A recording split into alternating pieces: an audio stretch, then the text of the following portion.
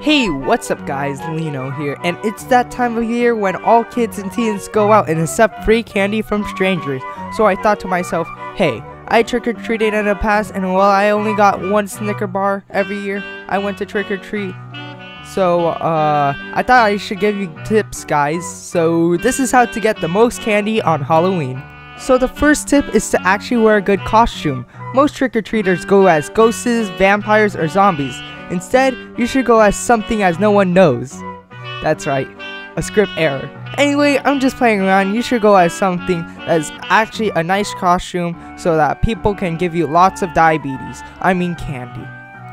Tip cuatro, as you can see, I'm in Spanish class, and cuatro means two, so get it right. Anyway, uh, tip cuatro is when you see those uh, bowls that says grab one, uh, to be honest, guys, you should just be generous and fair and only grab one so that all the kids, when they see those candy balls, can also grab one. But when no one is looking, grab the whole candy and even the bowl. Tip number three is when you say trick or treat to the uh, house owners or the person giving out the candy, say it in a really nice and sweet voice. Would you rather give uh, candy to a voice that says, "Oh, trick or treat," or like, uh, like, or a guy who says, or a girl not assuming genders, that says trick or treat. Uh, make sure you comment down below. I'm just playing, guys. But on the real here, if I was passing out candy, I would pass it out to the kids who have very nice voices. Because voices are everything.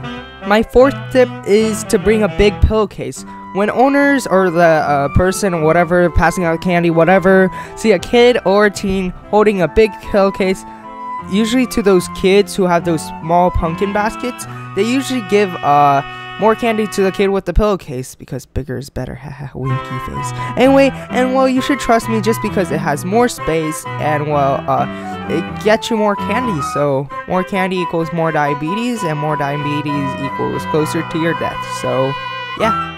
Finally, last tip is just to be safe overall. Although this might this tip might not be able to get you more candy, it will for sure uh, get you uh, well let you keep the candy you have. Just make sure you have friends around, bring flashlights, and know your curfew because you don't want to die or get kidnapped by some clown or Pennywise. Instead, go home, eat the candy, and gain 10 pounds so that you won't get kidnapped. But make sure you have parents or friends around so yeah you don't get killed. And that's it for the video, guys. I hope you guys enjoyed this video. If you can, drop a like, subscribe if you are new here, and share this video with your friends or uh, siblings so they can get the most candy on Halloween. I know this is a different type of video I recorded, and I usually just do the Overwatch content videos, but honestly, I thought it would be fun to uh, give you guys tips to get the most candy.